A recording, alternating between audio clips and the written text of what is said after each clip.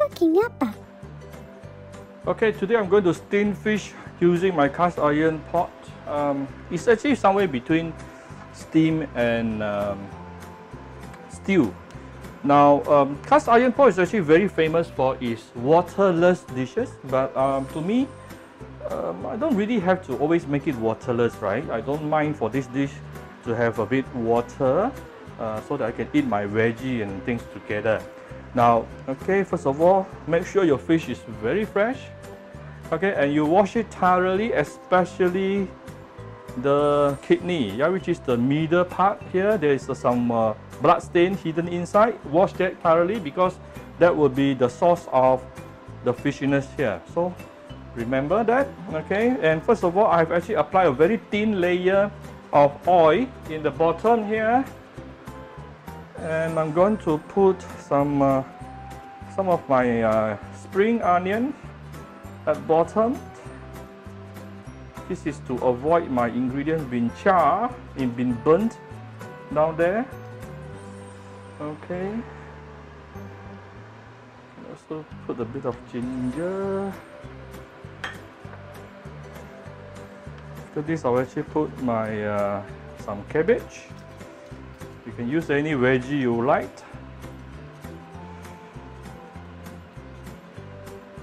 Okay. And has some leftover bell peppers, different colors.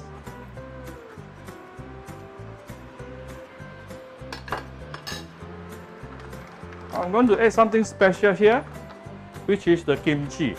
Okay, so why am I adding kimchi here? Mainly it's because um, usually when we steam a fish, we don't want the fish water. Okay, but since I'm doing this way, there's no way I can remove the fish water, which may carry some fishy smell.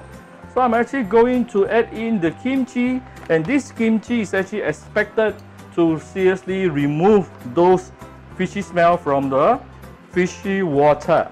Okay? So this is my secret weapon here. Yeah?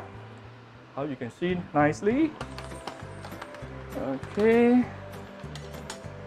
After that, I'm going to put my fish on top. Let me see, is this angle nice? Okay, it's all right. Okay, and to put some ginger slices on top here.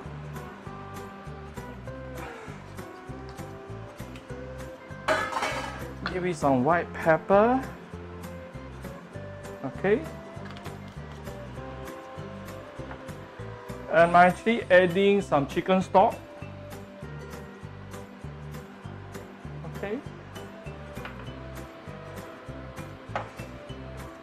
and this is my homemade my homemade uh, fish powder.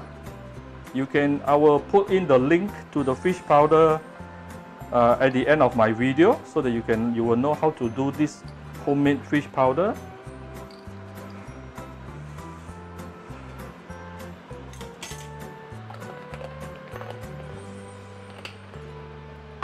And last but not least, we can give it some garlic oil on top. All right. Okay. So we are going to uh, use medium fire. And we close the lid and let it cook for minimum 10 minutes. Okay. First time I'm trying this. So I'm going to check later at 10 minutes to see whether it's fully cool or not. Okay, we come back shortly. Okay, let us check after 10 minutes under medium high heat. Let's see what we got. Ooh, very fragrant. Uh, let me see, the veggie probably needs a few more minutes. The fish not ready yet okay I can tell from the color of the flesh but I'm sure everything will be ready another 5 minutes so we'll cover the lid and give it another 5-6 minutes then we are all done. Okay, this is after another 5-6 minutes. Let's see what we got. My fish and veggie is definitely totally cooked. So uh, this is telling us, um, depending on the size of your fish, but next time when you are doing this dish, straight away let it uh, steam for under a medium or medium high heat for at least 15 minutes, then everything should be cooked. Okay, but of course you can adjust yourself accordingly. Alright, let me, I forgot to off my light. Okay, and let's give it a few tinge of um, light soya sauce. Okay.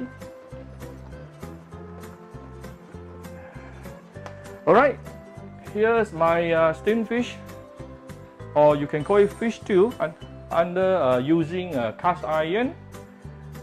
Okay, um, if you like my my video, do share on your Facebook to your friends. Come to Cooking Appa Facebook fan page to cook uh, to click above the like and follow button.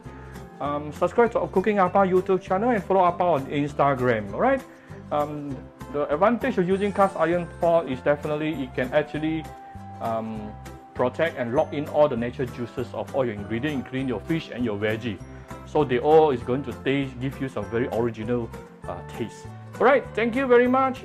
See you all again. Bye bye.